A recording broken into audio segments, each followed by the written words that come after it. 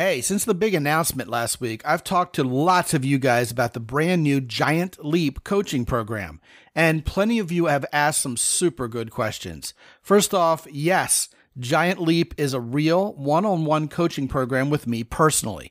If you're familiar with, say, the 10 Plus coaching program, which is a full strategic plan of action, this is kind of like a 1 Plus. We identify your big sticking point between you and success, and we hit it with a big, heavy hammer. We do not stop until you've conquered it and are on the way to real world results. And yes, you might be in a relationship with a woman already or not. Either way, we'll tackle that one big issue. It can even be career related or have to do with your social circle. You don't even necessarily have to put your finger on what the roadblock is just yet. But together, we'll clear it. Results are guaranteed, and yes, it's affordable. And oh, yeah, by the way, I did have Neil Armstrong in mind when I named it, for sure. so it all starts with an exploratory call. It's free of charge, won't cost you a dime, and we'll figure out together whether this is the right track for you. MountaintopPodcast.com front slash leap, L E A P. That's MountaintopPodcast.com front slash leap.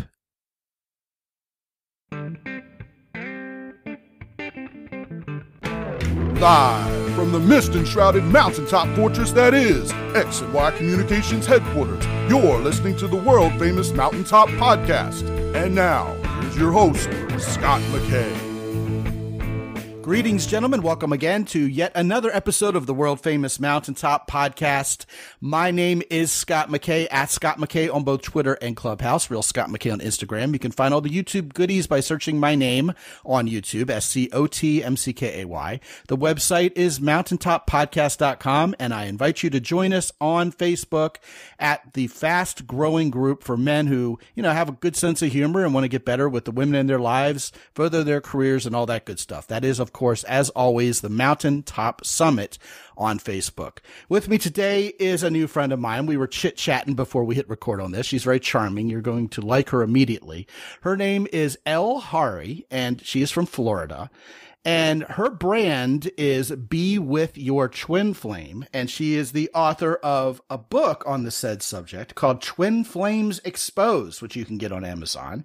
Why most of what you think you know about twin flames isn't true and how understanding the truth is the key to being with your twin flame in this lifetime. Well, I got to tell you guys, I know next to nothing about twin flames going into this. So if what little I know isn't true, then we're all going to learn a whole lot together on this show. So without anything further, Elle, welcome to the podcast. Thank you, Scot. Thanks for having me. I'm so happy to be here. Yeah, I'm happy you're here too because you know what? It's been a long and arduous search for the right person to be my co-host for a show on this topic. Now, see, I learned about this concept of twin flames relatively recently. And I searched and searched for the right person to come and give expert advice on what twin flames are all about and describe it to us in detail. And not until you showed up on my computer screen, courtesy of your publicist, was I able to find the right person to talk about this. So as these guys know, Elle, I'm really generally pretty practical. I like to talk about things that work and things that don't. I like to talk about men and women attracting each other in the most natural way that makes the most sense. A lot of times when guys read my work or listen to these shows, or do coaching with me in person, they end up saying to themselves or even to me directly out loud, you know, this is really common sense. This all really just is so logical once I think about it. But I also dabble in areas kind of further afield in the universe uh, where my curious mind takes me. Some of these guys know I'm into lucid dreaming and things like that. So when I discovered this idea of twin flames, I was absolutely wrapped with attention I was giving to it. I thought it was just fascinating. And so what I would like you to do, since you're the expert here and I'm learning, because obviously everything I think I know about this isn't true, please talk to us about what twin flames are. Okay, gladly. Uh, so twin flames are two bodies that share the same soul. So two physical people and like any one of us, we each, we all have and are a twin flame. So our soul, we always share our soul with someone else when we're incarnated into the physical 3D world. Okay, well, that was a very basic answer. Is this synonymous with soulmate, or is that something completely different? It's it's often misconstrued and used synonymously, but it's completely different, actually. So that's the first thing I thought I knew that I didn't know. No, right. I'm just kidding with you. well, you wouldn't be the only one. Um, so twin flames, they are two bodies with one soul. A soulmate is just like it says, it's a mate of your soul. So it's another soul that resonates with your soul. And um, souls are just energy, and everything and everyone is energy. So every single person, or actually every single being in your life, resonates with your soul in some way or the other. So every single one of them is a soulmate to one degree or another. So we can have family members as soulmate, friends as soulmates, lovers as soulmates, and even pets as soulmates. Fantastic. And I think most of us, if we're honest with ourselves, realize that, hey, you know what? We could have more than one soulmate. But when you're talking about a twin flame, that is absolutely by definition limited to one other person in this world, right? Yes, exactly. Okay, now who discovered this concept? Because I didn't hear about it before like a year ago. Am I just, you know, living under a rock or what? I mean, how long have people been discussing this thing? Well, I think the first documented thing about twin flames was Plato. He documented twin flames. That would be a long time ago. Yeah, so whatever year that was. um, you know. I'm not even sure he knew what year that was. yeah. But he did. He he he wrote about twin flames. So that's the first I think one we really uh we have any record of. So how could it have been lost to history for so long? I mean, isn't this sort of important? It is important but you see it's actually it's really it's just a label. It really isn't important or significant um, to anyone's everyday life until they experience the twin flame journey. Now in every lifetime that we have we have crossed paths with our twin flames including this one. And there's so many people out there who are married to their twin flames right now who grew up next door to their twin flames who work with their twin flames and they don't even know their twin flames. And that's fine and perfect. They don't have to know that what happens is, though, at some point when the soul is ready, the soul recognizes itself within the physical body of the other twin flame. And at that point, that's what starts what's called the twin flame journey. And so at that point, that's when people tend to want to know what's going on. And so that's when it's important to realize, oh, that's what we're doing. We're twin flames. But until that happens, um, there, you don't really even need to know if you're twin flames.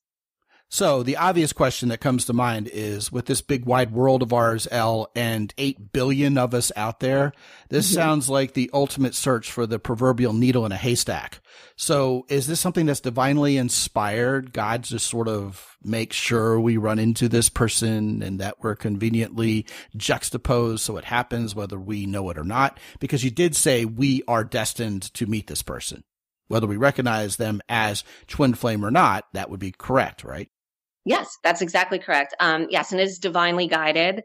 The soul, actually, we're all a soul, and our soul is actually orchestrating everything in our lives. And our soul is, you know, it's an energy. It's an energy and frequency of vibration that's unique to that we share with no one and nothing else, actually, in the entire history of the cosmos, other than our twin flame. So every coupling of, of twin flames have their own unique um, soul vibration. And due to um, universal laws, um, like the law of attraction, law of vibrancy, we magnetize in things, people, situations. Everything is energy. We magnetize in other energy that resonates with our soul energy into our physical lives. And so that includes obviously our twin flame because our twin flame matches our our energy of vibration exactly. Now, a lot of guys are listening to this, obviously. In fact, this is a show for men. Uh-huh. And uh-huh. I know instinctively that a lot of guys are hearing what you're saying, kind of getting a feel for this topic and thinking like this is chick stuff. This is something women like to read about for their entertainment in Cosmopolitan magazine. It's like the daily horoscope or something. But you mm-hmm. claim there are scientific ways we can know that this is really a thing. This isn't just some fad that women are talking about for fun. This is something very real. So I'd like for you to discuss to these guys, you know, throw it out on the table for them, Elle, the real evidence for this being a factual event. Not only do twin flames exist, but that we're indeed destined to meet this person. Go ahead. Okay, sure. So, um, well, first of all, I can I can attest just from all of the men um, students that we have that are experiencing the twin flame journey um, that come in. So there's there's that evidence which I've seen with my own physical senses. But really, so it's twin flames. It's about energy. So everything and everyone is energy. I mean, we know that that has been scientifically proven. So, and our souls, our essence of who we are, is energy. It's actually the strongest energy next to source energy um, in the entire universe. And so, um, studying the twin flames, or talking about the twin flames, is really um, it comes down to physics because we're here when we live in the physical world in every lifetime, right? The physical world that we live in, it's the third dimension. It's one of duality and opposites. And you can see that where we have everything is is an opposite. So we have up and down, hot and cold, in and out, light and dark, good and bad that kind of paradigm of duality only exists in the 3D physical world. When our soul incarnates here into a lifetime when we're born, our soul, being energy itself, needs to assimilate energetically into that same paradigm. So it needs to make two opposites of itself. And in energetic terms, those opposites are called polarities. And so there's one polarity in the physical body of one twin flame and the other polarity within the physical body of the other twin flame. Fascinating. And every engineer is doing cartwheels of joy out there. oh, really? Have you ever experimented with something called Kirlian photography?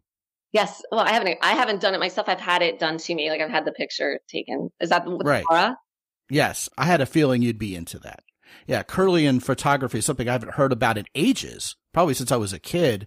But apparently, you can photograph the energy of your soul mm-hmm. with a real, actual, objective photograph. Yes. Yeah, I just figured you might be into that. Something for these guys to Google. Uh, as a matter of fact, I'll put a link to it in the show notes. All right. So you talk about twin flames as being someone we could fall in love with and have a relationship with. Now, see, to me, I'm thinking I'd rather fall in love with my soulmate and have a relationship with that person because there's someone who complements my soul. And I'll tell you why I feel this way. I would drive myself nuts I mean, people who are too much like each other tend to absolutely grate on each other's nerves. So, I mean, that's the thought that came to my head. I mean, correct me if I'm completely way off there. Yeah, no, you're correctly right. If you're talking about a physical relationship with someone, I always tell someone if you want a normal, physical, happy relationship with someone, you want a soulmate. You're not looking for your twin flame for that. But see, the twin flame journey is not about a physical relationship. Yes, it very most commonly starts out that way. That's the catalyst to the journey. See, the whole point of the journey is to see the polarity of your energies that I just talked about. One um, twin flame has one polarity, the other twin flame has the other. And when the journey starts, those two polarities build up and they build up and manifest as a push and pull.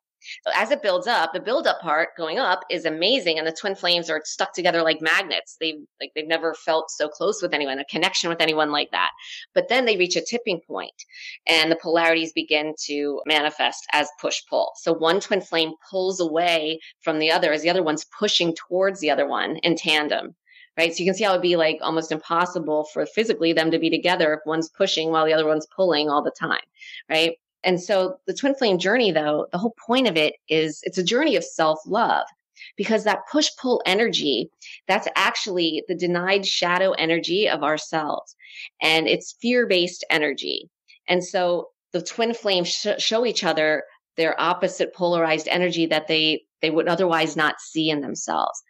And then when you see that every part of yourself, including that denied shadow part of yourself, that fear based energy part of yourself, you're able to then identify it and understand it and then accept it without judgment. And that's actually how you love yourself on the deepest level possible. And that's actually the point of this journey is self love. It's a journey of getting to know yourself as a soul. It's not, it's not about a physical relationship. It doesn't take place on the physical level, if that makes sense. Ever. I mean, it starts out that way, right? So, because on the physical level, the 3D world, the duality that is fear based energy. So, our 3D physical world is, is a fear based energetic paradigm. But in order to break the polarities, the push pull, we need to rise up out of that fear based paradigm. And what we're doing when we are noticing the push pull polarized fear-based energy within ourselves and the twin flames you know work with those energies what they're actually doing when they accept them without judgment when they love that part of themselves that fear-based energy becomes transmuted or alchemized into love energy and so the soul is love energy it comes from the fifth dimension. It's not originally from the third dimension, which is why it needs to make two polarized opposites of itself to incarnate here and assimilate into the third dimension. The fifth dimension isn't fear based. It's all love. That's really what the journey is about is alchemizing the fear based energy within yourself into love based energy. So that's where the band, The Fifth Dimension, got their name, right? Because it's all love. I guess so. Yeah. Yeah. Right? Cool. I'm dating myself there, Elle. Okay. You probably had no idea what I was even talking about just then. All right. I don't really know who they are, but sure. Yet another thing to Google. I'll put that in the show notes too. Okay. All right. So before we talk about the practicalities of this, which I can't wait to hear, I have a few house cleaning questions. Sure. All right. So indeed, if you married and procreated with your twin flame, wouldn't that be kind of like inbreeding your soul? I mean, what would the children be like? No, because you know you're you're the same soul. Because we have many people who have kids with their twin flames. Remember, the children part of it is physical. Inbreeding part would be would be on the physical level. Well, are these children special in any way? Are they different? No, everyone's special and different, but Oh, no. Come on, humor me. sure. Um, no, see, here's the thing. So the twin flames are the same soul.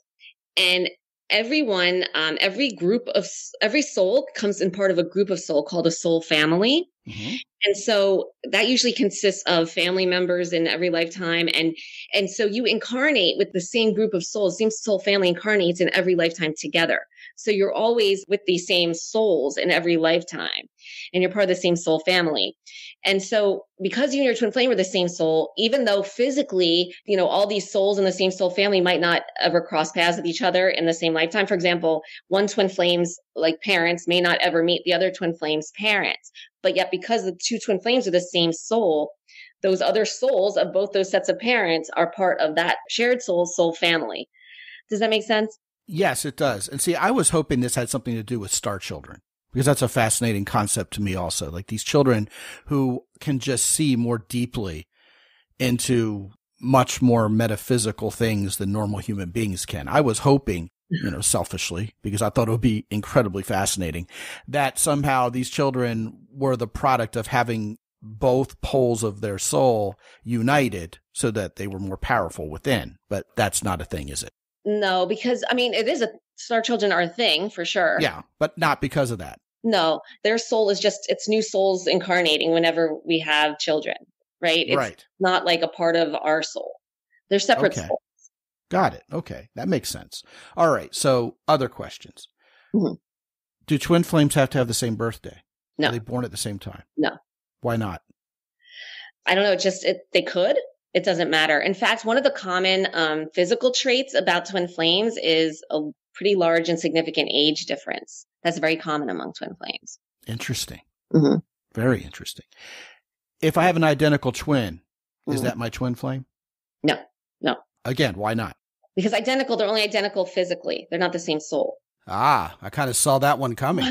Man, this sounds so confusing. So, getting into the practical piece of this, how do I even begin this journey, Elle? How do I know who I'm looking for? I mean, obviously, I'm looking for myself, but not physically. You know, I'm looking for this polar side to my energy. It sounds so complicated to try to recognize this person. How do I know who I'm looking for? And how do I know when I've found this person? Or are they going to find me first and I'm just too boneheaded to figure that out? Yeah, you don't look for your twin flame. You won't find them that way. They'll just come in and I mean, like I said, you could know your twin flame. You could be married to your twin flame. You could already you could have grown up next door to your twin flame. You and you don't know. The only way you know is once your soul has decided to have soul recognition, recognize itself within the physical body of your twin flame. And this happens on the deepest, deepest subconscious level. Uh, There's no like aha moment when it happens. You don't even feel it physically. It's just when the soul is ready, it kind of like wakes up to itself. And then at that point, those polarities kick in and the buildup is amazing and intense. But then all of a sudden, they start manifesting as push pull. And it's at that point when they start manifesting as push pull that you will know. Well, actually, the push twin flame will know.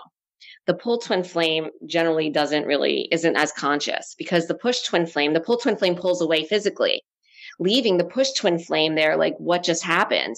Like the whole rug has been pulled out from under them. They're very confused. Um, they're very obsessive because it's fear based energy and fear based energy is of the mind and it controls the mind. And it's also addictive. Fear based energy is also addictive energy. And so their mind is controlled by this energy that's pushing out towards their physical form of their twin flame. So they're just obsessed with their twin flame.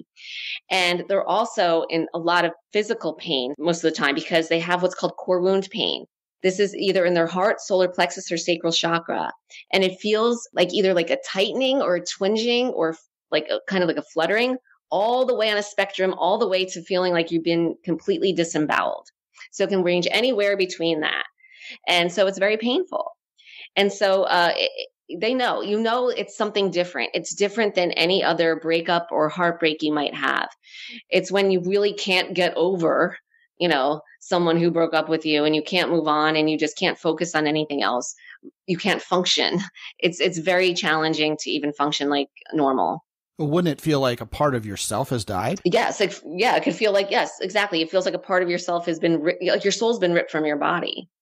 Actually. okay so the catch 22 here in my mind. And again, remember, just like your book says, everything I think I know about this is probably wrong. So okay. if the person who is my twin flame isn't awake to this notion at all and they think it's all a bunch of BS, does that scuttle any hope for them recognizing they're my twin flame and us completing this journey together? Or how would I pull someone out of that state and get them in the know about what's going on between the two of us here. No, what they think is irrelevant. What they do think, say, feel is irrelevant because that's all physical stuff. Remember, this journey takes place on the level of the soul. And it takes only one twin flame to do the work for both twin flames because essentially what you're doing is you're neutralizing the polarities. Envision your soul as a shared energetic field. Well, when you have the push pull going on, it's polarized. One twin flame, there just needs to be a depolarization of either the push or the pull, and then they're both depolarized because by definition, with polarity, you need two poles, right? So if you take away one pole, the push, then the pull automatically neutralizes as well. And then when that happens, the soul can then bring its two physical bodies back together without the push pull effect going on. What does that look like? I mean, what are the practical steps there? What are the ramifications of that here in the physical when that sort of thing is going on? This push pull thing, I mean, I talk a lot about masculinity and femininity, and that sounds a lot like flirting and banter. Like, you know, I like you, maybe I don't. I'm going to give you attention, then I'm going to take it away. So that's the vernacular we use to talk about that phenomenon. And I sense what you're talking about is dramatically different in terms of how it actually plays out in real life. And that's what I'm trying to get at. Sure. So one twin flame is the push energy, one is the pull energy, right? And they can never switch back and forth with each other. They're always one is the same one's the push, the same one's the pull. Well, what do pushers do and what do pullers do?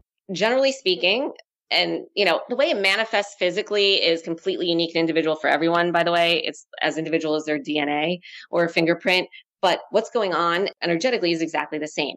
But generally speaking, what the push twin flame does is they become obsessive obsessive about the pull twin flame. They can't focus on anything else. They remember they have this core wound pain going on.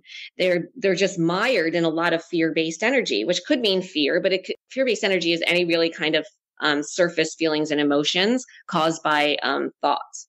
So the push twin flame is the one feeling the fear-based energy or manifesting the fear-based side of the soul first. And that draws them to the other person? I would think it would be the opposite. I would think the fear would be the pull, not the push. No, no, no. They're both fear. Push and pull are both fear. All polarized energy is fear. The thing is, so the push energy is it's fear, it's addictive, it's pushing onto that physical form of the pull twin flame. At the same time, the pull twin flame, because of the energy, is pulling away from the push twin flame, but it's still fear based addictive energy. And so they have this addiction they feel like they need to satisfy. They can't turn around and do it with the push twin flame because the energy is pulling them away. So they have to go and try to satisfy this addiction with anyone and anything else. right? So they turn to, I mean, anything can be addictive, let's face it, but a lot of times they turn to, you know, alcohol, drugs, um, you know, overworking. They immediately go into other relationships or they hop around from relationship to relationship. You know, that's what they're doing. They try to go anywhere and do anything other than focus back on the push twin flame. So that's how that that plays out. So if I have a stalker and they're creeping me out, could that be my twin flame trying to get through to me? Uh, no, not all. No, you can't generally say that. Well, that's what I, it sounds like to me. I mean, you'd have some, do you know them? I mean, you'd have some kind of interaction with them where, you know, you felt some kind of pull towards them at first, but then all of a sudden you're like, oh, you know, it feels like they're suffocating you. It's not like they're, it's dangerous. It's not fear like you have to get away from them because they're crazy. It's just, it feels like, oh, their energy almost smothers you. So you feel almost like you need to just get away, like for, to breathe like it's just very overpowering onto the pole twin flame like that. Oh, you're making it sound like this sucks. Where's the magic here? Why would I want to meet my twin flame? This sounds exactly. just brutal and savage. Because once you learn how to balance out the push pull, we call it balance out, but you're actually neutralizing it. You're it's and in the whole process of doing that, it's a beautiful process. You're learning about yourself and you eventually can the way you have to relate with your twin flame then is is in complete fearlessness, which is total love. And as much as we like to say we have unconditional love with people, um, right now we don't where the level of human consciousness is because it's always, there's always fear based energy going on there. We're just not at that level of human consciousness yet to have a completely fearless relationship with anyone. In order to be total love, there has to be fearless because fear and love are opposites. They cannot coexist. They're mutually exclusive. Which I believe and which we've talked about in depth on this show, by the way. Okay, great. So I'm right there with you on this. Okay. Okay. Great. So basically, so basically, your twin flames out there cracking their knuckles and saying, "Yeah, I'll teach you how to turn that fear into love." right? And you're doing the same for them. Yes. Yes, they both have a role to play, and right. Yeah. Mm-hmm. It's a balancing out of each other's negative energy with that polarized positive energy. So it's kind of like the completion of the yin yang circle. Yes, it is very much like that. Wow, I'm getting it. You are. Yeah, okay. I'm not as dumb as I look. This is great. All right. So, are there any supernatural elements to this relationship that offer kind of a hint like, hey, stupid, this is your twin flame? And here's why I ask. There was once a woman I was sort of dating, but not really. And we had a very interesting relationship. I didn't want to be romantic with her. She was gorgeous. Everybody didn't know why I didn't want to be romantic with her, but she was very drawn to me, kind of like in a sapiosexual way. She just found my energy very attractive and I enjoyed spending time with her. And I have to underscore this. She was a beautiful woman, gorgeous, but not my type. I have a very different type. She's more of the classic tall, leggy, model looking gal. Okay. And I like cute little spunky chicks like my wife. That's good. So we were spending time together and we would be like alone in a room, just talking and getting to know each other and being fascinated. And there was one time where we both just ducked because some energy flew right over us while we were having a deep conversation. And we looked at each other and went, What was that? And then shortly thereafter, she said to me, You know, I had the strangest dream last night. And I said, Wait, you mean this dream? And I proceeded to describe it to her. And I said, Yeah, and you were in trouble. And she responded, Yes, and you rescued me. And I woke up and I looked at the clock and it was, I don't remember the exact time, 2.28 in the morning. She's like, Yeah, me too. Is that twin flame stuff? Or is that just some other completely supernatural, weird phenomena that happens between men and women that we should save for another show? Yeah, that's that can happen with, with anyone. That's not okay. necessarily twin flames. Well, it's only ever happened with her, but she most certainly was not my future wife. I've had people say, "Oh, you should have married her." I said, "No, I shouldn't." so to this day, I'm still confused and rocked by it. But yeah, that's uh, that was interesting, but not twin flame. That doesn't necessarily mean you were twin flames. No. That's kind of a relief, actually. Okay. Well, I mean, but how did you feel after? I mean, are you still in contact with her when you stopped contact? Like, how did that go down? You know, that that would be more of an indication. I could tell you more if you're twin flames you know, like I said, did you have core wound pain? Did you have obsessive thoughts? Or were you the pull where you couldn't even think about her anymore or like, you know, even talk to her anymore? You felt smothered by her, you know? Well, I think if I had to choose, it was the latter. I mean, frankly, I got a girlfriend. so there were no late night conversations in our bedroom together anymore because, you know, that was kind of verboten after the girlfriend came along. But yeah, you know, I caught up with her on Facebook years later and it was kind of like, well, how are you doing? Fine, you know, and, uh, but not much. You know, I don't think it was either end of that spectrum where I felt smothered and wanted to get away from her or she was obsessed trying to chase me down. It just sort of ran its course. Yeah, right. Naturally. Yeah, a soulmate of some sort, you know, just one yeah. or another. Interesting. What would you tell these guys if they have just been engrossed in fascination with this conversation and want to perhaps embark upon this journey in hopes of finding their twin flame? And, you know, I'm asking this question knowing it's probably already the wrong headed approach. So straighten me out. Yeah. What should we do here? What's the practical step having listened to this show? The only practical step I would say anyone, if anyone's resonating with either of those two things, like they are the push twin flame, they have their partner or whatever, girlfriend, someone they were, you know, relating with pulled away suddenly left them feeling um, like focused on them. They can't they can't really focus on other things. Hard to concentrate at work or anything else. You know, they have some kind of core wound pain, and by pain again, it could be anything from like a fluttering or tightening to actual disembowelment feeling in their heart, solar plexus, or sacral chakra. You know, if, if they're going through that, they can't just they just can't move on or stop thinking about an ex. I would say then they want to um, you know, really consider that they could be experiencing a twin flame journey. Yeah, but what if we feel that way about every chick who dumps us? Okay, well, do you? Are you? I mean, you have core wound pain with every chick that dumps you? Well, hey, I'm more speaking on behalf of the listeners in general rather than attempting to employ the royal we, right? You know, yeah. me personally, I'm good. That's you know, I'm happily married, and all my exes are, you know, and all my exes live in Texas. You know, it's basically how it went for me. I mean, I'm I'm good here, but I know a lot of guys struggle with you know kind of falling for a woman. Uh, maybe she's someone they've had to admire from afar. You know, someone that they got what's called one-itis for, who never really requited that love or you know they have a pattern where they start dating a woman and get all obsessed and the woman goes ick you're getting too obsessed they get dumped and the guy is just really obsessive and this happens over and over again because they don't fix that core wound or in my estimation that character flaw that keeps them going back for more and getting flattened time and time again by what happens in these relationships. I mean, obviously, it's kind of a sign of immaturity. You know, we fall in love with our eighth grade girlfriend and get obsessive over her. And then when she dumps us, oh my God, it's the worst thing that ever happened until we find a new one. And, you know, it's kind of a puppy love thing.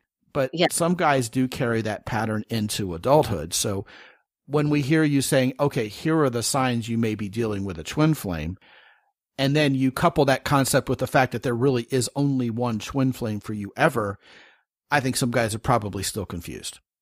Okay, well, I hope not. I'm not trying to be confusing, but you raise a good point. Yes, you can get obsessive over other other people that aren't your twin flame for sure. But see, it's different. It's to a different level with this. I just I just can't even describe it. It's to where you can't even function. There's no like moving on, you know, as soon as you get over them as soon as like, you know, you get on somebody else. It's not it's not like that. you know, there is no getting on someone else. So this has to be a truly special, unique situation where even you in your heart of hearts go, you know what? This is over the top. Why am I feeling like this? This isn't like me. This isn't something that typically goes on in my life. Right, right. right. Okay. Got it. it. Causes you not even to recognize yourself anymore. I mean, it's really beyond anything. Um, and it needs to be that way because it is a soul awakening. It's your soul's wake up call to you. And if it was just felt like everything else, you wouldn't really pay much attention. You just like, oh, whatever, next. Okay yeah, it, you know, you know, it's different from when any way you've ever been before. Okay, that's crystal clear. I got it. Okay, so what's the culmination of all this? What is the end game for Twin Flame? Well, there, well, there is no end game because the soul doesn't end; it's eternal. When is it that the pain stops and the fun starts? Okay, that's what I'm getting at. well, it's a process dealing with. Well, first of all, you need to deal with the obsession. You need to get out of your mind. You need to stop focusing on their twin flame because all the focus on them is what's pushing them away you know you focus on them your energy pushes out there and then they're on the other end of that energy pulling away So, really, the main goal initially is to stop focusing on them, to get out of your head, to stop the obsessive thoughts. And you basically do that by um, trying to be present as much as possible, you know, realizing that seeing your thoughts and realizing that, you know, they're not real, that your mind is just many times making stuff up about your twin flame. Almost like your logical mind is flat out rebelling against the polarized nature of your soul. Yes. Oh, yes. That's exactly what happens. See, because the fear based energy, like all energy, it just wants to grow and expand. I mean, that's its natural inclination. But what we're, what you're doing when you're, when you're balancing it out, which is what we call it, you're actually shrinking it. Because remember, you're alchemizing it and it's being transmuted into love energy. So the fear is shrinking down and getting smaller. And that goes against the natural inclination of all energy, which is to grow and expand. So then the pot of gold here at the end of the rainbow is self discovery between both twin flames, right? Yeah, well, the pull twin flame doesn't really do much of the self discovery work. I mean, they do. I mean, and everyone every day of their lives is learning more and more and growing every, you know, every minute and every moment. We all are, right? Whether we're on the twin flame journey or not. But, you know, it's really the push twin flame that does that kind of quote unquote work because they're the ones that come looking for the help because they're the ones who are out there Googling, like, why do I feel like crap? How do I get my ex back? All this other stuff. And they come across twin flames when they're, when they're meant to when they're ready. And um, they're the ones that do the work. And again, like I said, though, it only takes one twin flame to do the work for both. So what's in it for the other one? Oh, for the pull twin flame? Yeah. I mean, again, what is the good that comes out of this? How am I a better person for having found my twin flame? And how is my twin flame a better person for having found me? Oh, because, okay, well, you know, once you do balance out the energies, you could be in a completely fearless unconditional love relationship should you want to. But really what happens is when you're alchemizing the fear-based energy, the push is doing it for both. And when that happens, first of all, you're shifting closer into alignment with your soul, which is your true vibration of love. And when that happens, your soul is your truth. And it includes um, that energy is the strongest energy that exists next to source energy. So it includes love, it includes peace, happiness, abundance, your passions, your true soul's purpose, it's all tied into that. And the closer you shift into it, even incrementally, everything in your outside world, in your physical world, in your life starts to change. And so you start magnetizing in people, situations, opportunities, things that start resonating and being more in alignment with your truth, which is, you know, all those amazing things I just described. And your twin flame and you did this for each other. Yes, yes. Okay. And yeah, so both twin flames lives, they become less fear-based and more more aligned with their truth, which is everything they desire. So one last question before we wrap up. You mentioned that twin flames are all about the soul, not physicality. But there is a decidedly romantic, sexually interested twist to this. So my question is must your twin flame necessarily align with your sexual orientation? No, not at all. Okay. So my twin flame could be another dude, even though I'm straight. Right. Okay. Man, would that get confusing? well, that's another reason you know you met your twin flame. When, uh, you know, like I mentioned earlier, the large age difference is very common. That's also another common thing. Um, same sex when neither one have been gay before. Also, another very common um, thing is where they live on opposite ends of the world. They never meet in person. They just meet online, like in chat rooms or whatever, but they still feel that pull towards like this faceless name or or screen name or whatever. And they go through the same whole, you know, push pull thing. Um, and also different religions where that matters and a lot of um, cultures that matters. And so people would normally not think to be in a relationship with someone who's a different religion, but twin flames can't help themselves. Oftentimes one or both twin flames are married or in, you know, long-term relationships with other people where they How would never, spouses handle that sort of thing? well, I mean, not well, usually. you know? I can only imagine. Yeah. But I mean, the thing is, once you have the push pull energies balanced, it just gives you freedom. You, you have many options. So you don't have to be in a physical relationship with your twin flame at that point. And we have half of our students that, who are married before they meet their twin flames and go through all this. Once they're balanced, they're able to go and have an even closer more uh, true and real relationship with their spouses and keep their families intact and everything. So it opens up, it's liberating. It's a liberating, amazing journey once you get that fear based energy balanced. Well, I would imagine, you know, thinking along as you were talking, that if I'm married to my soulmate and I get in touch with my twin flame later, it would follow logically that my twin flame and my soulmate would also get along, ultimately, if they can get through all the baggage. I mean, at prima facie, they should get along based on how this all works, shouldn't they? On the soul level, yes, because they are, yeah, soulmates, right? Because yeah, you're because you are right, Right. exactly. Yes, on a soul level, ideally, yes, when there's no fear based energy. But see, the spouse, even if the twin flames have no fear based energy with each other, they still have it with everything and everyone else because everyone is, is interacting with everyone in fear based push pull energy, believe it or not. We just don't know it. It's on a subconscious level.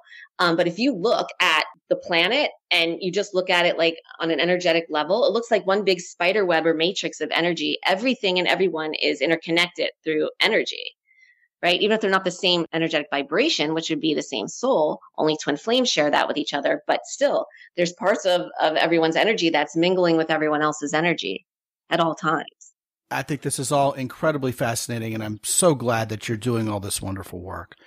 Because I'm a pragmatic smartass, such that I am, Mhm. I can't help but think of Pete Weber.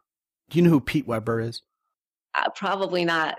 Pete Weber is a pro bowler who is a very good bowler, but he's most famous for winning a bowling tournament and shouting at the top of his lungs, Who do you think you are? I am, pointing to himself. And of course, it's a total Yogi Berraism of sorts because it makes no sense unless you're talking to your twin flame. And suddenly it makes perfect sense to say that, doesn't it? Yes. Absolutely. What a It great place to end this show bringing it full circle back to the pragmatism these guys are used to.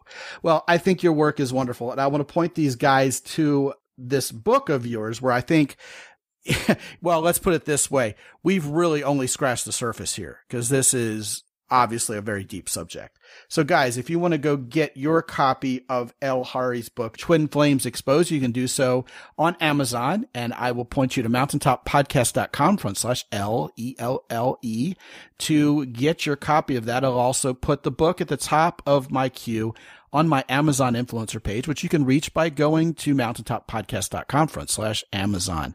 Elle Hari, thank you so much for not only visiting with us today, but being so smart about this. Obviously, it's something that you're immersed in and are passionate about. And thank you so much for putting up with all of my uh, newbie questions. I greatly appreciate it.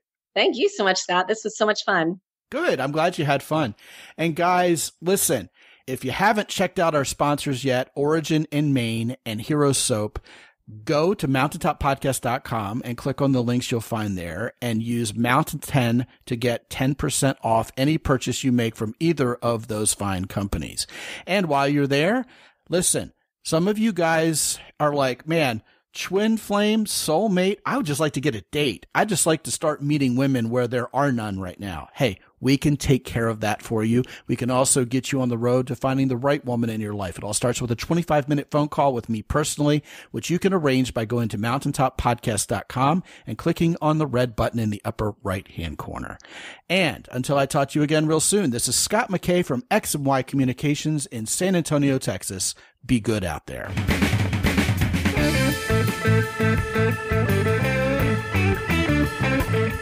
The Mountaintop Podcast is produced by X and Y Communications. All rights reserved worldwide. Be sure to visit www.mountaintoppodcast.com for show notes. And while you're there, sign up for the free X and Y Communications newsletter for men. This is Ed Roy Odom speaking for the Mountaintop Podcast.